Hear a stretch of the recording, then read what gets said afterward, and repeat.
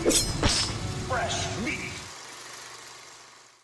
The horror genre has dozens upon dozens of subgenres. We can be simple and talk about slashers, psychological horrors, the paranormal, uh, or we can be super specific and talk about torture films, cannibalism, neo monsters. You get the gist. For every film and every subgenre, there is potential for a franchise. But when we get down to The Exorcist, the movie that is widely considered to be the greatest horror film of all time, its sequels never saw success. And there's probably about 70 films that have some type of exorcism plot. I, I can think of at least 10 that have the words exorcist or exorcism in the title. It's a subgenre that does well enough, but there's little doubt that these films will ever match the brilliance of the original. After the original storyline was stretched paper thin in its two sequels, it seemed a prequel was in order. I mean, after all, prequels were all the rage in the early 2000s. But audiences were confused to say the least when the prequel to the greatest horror film of all time came out twice, with two different titles. It came out with the same star but different casts. Uh, The Exorcist prequel was, for some reason, two different films 2004's Exorcist, The Beginning, and 2005's Dominion, prequel to The Exorcist. So, God help us, we're about to dig into this. God is not here today, priest. Why would a studio make two movies that are essentially the same? And we're about to figure it out. And as we often ask ourselves, what the f happened to this horror movie?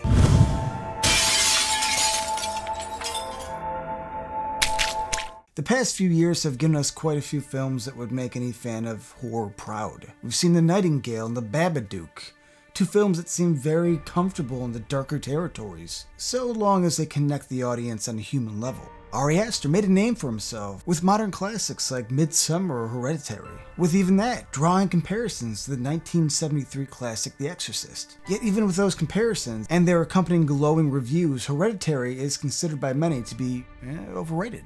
But there was a time that a film was agreed to be the scariest experience ever put to film. After the success of the original, neither William Friedkin or William Peter Blatty showed any interest in returning to the story they created. And by all accounts, eh, they were done, finished.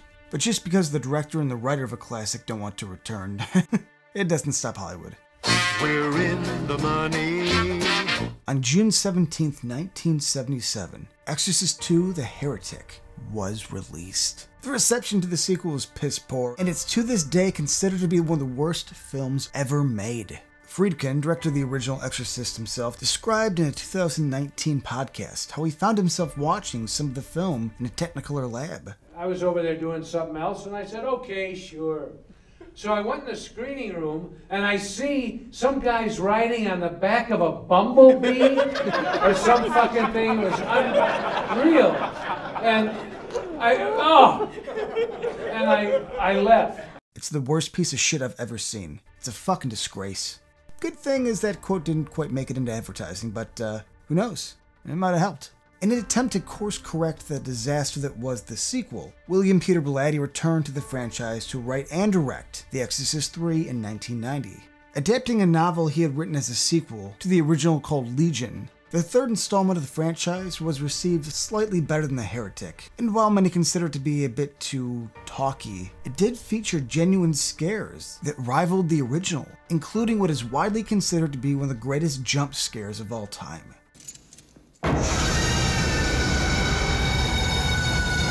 It didn't receive the best reviews when it was released, but uh, you know, like everything else, it has grown more beloved by fans over time. The film had breathed new life into the franchise, but a decade later, without a new installment, that new life was being sucked right back out. It was at this point that Warner Brothers felt a new direction was needed if The Exorcist was to stay afloat. And since the original was the most critically acclaimed film out of the three, maybe moving backward in time was the best direction forward. Which brings us to Exorcist 4, the prequel, or, prequels. In 2002, John Frankenheimer was hired to direct a prequel to The Exorcist. Yeah, you know what? A prequel actually wasn't a bad idea. This was set up at the beginning of the original film. I mean, the opening scene of The Exorcist has Father Merrin at a dig site in Iraq. He sees a statue of a demon that would normally be off putting to, you know, most people, but comes across as familiar, which indicates that he's seen the statue or something like it before. This is an interesting ground to explore, and Frankenheimer had nothing but potential and promise ahead of him. Liam Neeson was eyed as the man to play Father Merrin and was eventually hired. Production was set to begin in the summer that year. Unfortunately, Frankenheimer also passed away that summer. After the director had passed, the film lost its star as well, and Liam Neeson chose to exit. Paul Schrader, writer of Taxi Driver, Raging Bull, and more recently First Reformed, was brought in to direct because, in addition to being an incredible writer, Schrader also happens to direct from time to time. He's known for directing Cat People and uh, American Gigolo. Well, you know, directing isn't his strong suit, it's not a weak point either. He's good, he's just an incredible writer. Overall, Schrader is a legend who shouldn't need an explanation or a resume here. Skarsgård was then cast as Father Merrin, and the chips fell into place.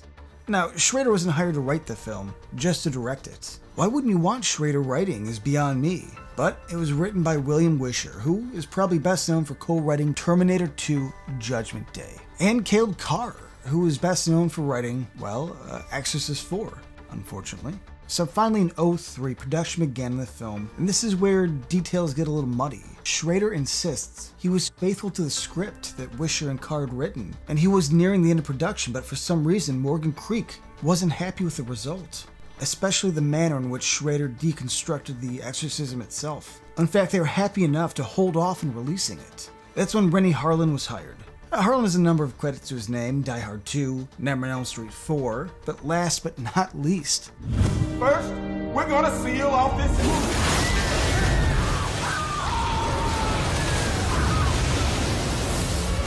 When Harlin was hired, one of his primary jobs was to reintroduce the grotesque components that contributed to the shock value of the original. Compared to The Exorcist, the gore in Schrader's version was actually scaled way, way back.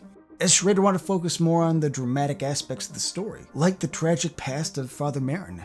So he was hired for basic reshoots in the film, and to, you know, add a little bit of gore. But uh, basic reshoots wasn't um, what Harlin had in mind when taking the job. After all, the man perhaps best known for ripping Samuel L. Jackson in half uh, ain't basic. I said, you know, just a couple of scenes, just a little fix here and there, and then, then we are fine. The end of the process that started with me working on the movie for a few days, uh, I ended up reshooting the entire movie. We reworked the script, became pretty much its own piece that wasn't a, the same story anymore. And we shot the film from the first frame to the last. If Morgan Creek was willing to pay, you know, for just, uh, what, three weeks of reshoots to fix a flawed film, why not pay for eight to make an entirely new one?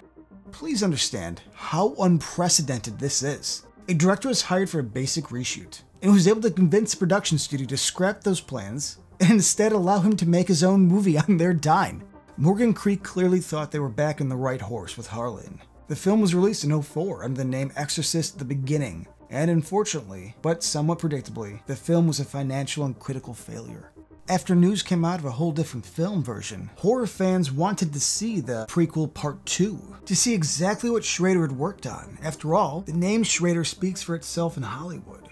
And with websites doing reports on films in the early 2000s, like JoBlo's own Arrow in the Head doing a set visit for the beginning in 03, Schrader's vision being scrapped became the real story of The Exorcist 4. Fans demanded to see the Schrader cut, much like fan demands for the Snyder cut, eh, just without billboards and unreasonable demands. You get the idea. After some internal discussion, uh, probably about just tossing out a film with a small budget that was near completion, Morgan Creek brought Schrader back to finish what was left of his film. And he actually agreed. And so his vision, his version of the film, was released in limited theaters on video in 2005 under the name Dominion, a prequel to The Exorcist. That is how two films, both prequels to The Exorcist, both written by the same team of writers, both starring Skarsgård, and both telling the origins of Father Merrin, were released seven months apart from each other. Yet with so many similarities, the films are very different, even if they're telling the same story, which is the story of Father Merrin. In the beginning, the film opens in an ancient battlefield where tons of people were crucified upside down. Now we cut to Father Merrin in 1949, who has decided to stop being a priest after taking part in the massacre of his own congregation during World War II. Now, he left all that behind to pursue archaeology, as you often do. He goes on an excavation site where digs have uncovered the ancient relics of a demon, and there he meets Father Francis and Dr. Novak, and the latter is haunted by her experiences in a concentration camp. She witnesses massacres. He is responsible for massacres. Cue the sexual tension. Long, long, very long story short, strange things start happening. Dozens of grave sites are empty, stillborn babies are being covered in maggots, kids are being attacked by hyenas. Human sacrifice, dogs and cats living together, mass hysteria. Dr. Novak ends up being possessed. Merrin exorcises the demon and becomes a priest again. In Dominion, the film actually starts off with Father Merrin in World War II. Cut to Merrin being an archaeologist, checking out a dig site. He meets Father Francis and the doctor, now named Rachel, eh, same characters, different actors. The dig site in the area uncovers a church that actually predates Christian missions in the region, and strange things begin happening, including physical changes to a young disabled man in the area named Cheche? Yes. Fast forward a bit, and he is the one that's possessed, kind of looking like Buddha. Merrin shows up in full priest garb, exorcises the demon, and all ends well. Merrin becomes a priest again. Listen, we skipped over a lot, it's true. But it's also kind of easy to blur these two films together. Both films show a broken father Merrin having lost his faith after forcefully being complicit in horrific war crimes of World War II. In both films, Father Merrin regains his faith after overcoming each film's demon. But the differences, the small things are what make these movies interesting, and horror fans have long debated which of the two they prefer. I didn't say which of the two is the best, because, you know, eh, let's be honest, we all kind of lost with these films. Exorcist The Beginning is rated at a humiliating 10% on Rotten Tomatoes, where Dominion holds a 30%. A way to go, Dominion. You won that round.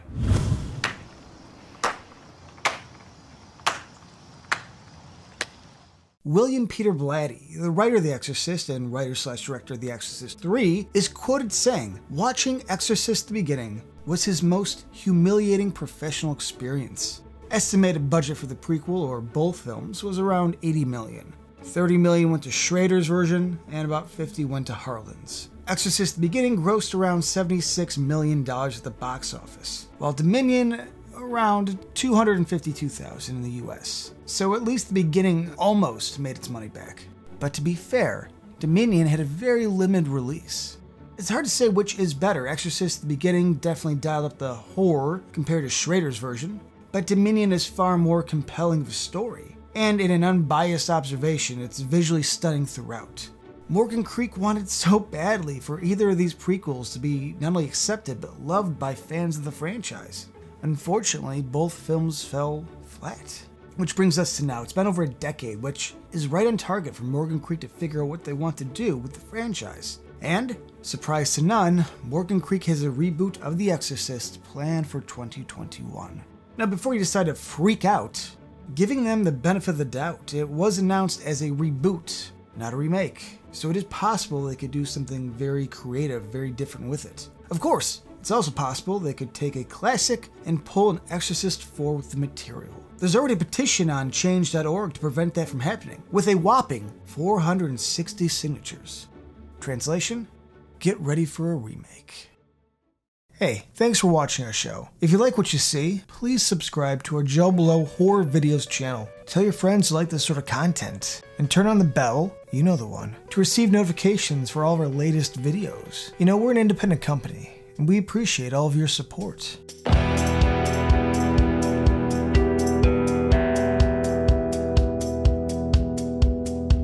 I went to on the streets of Blue Island.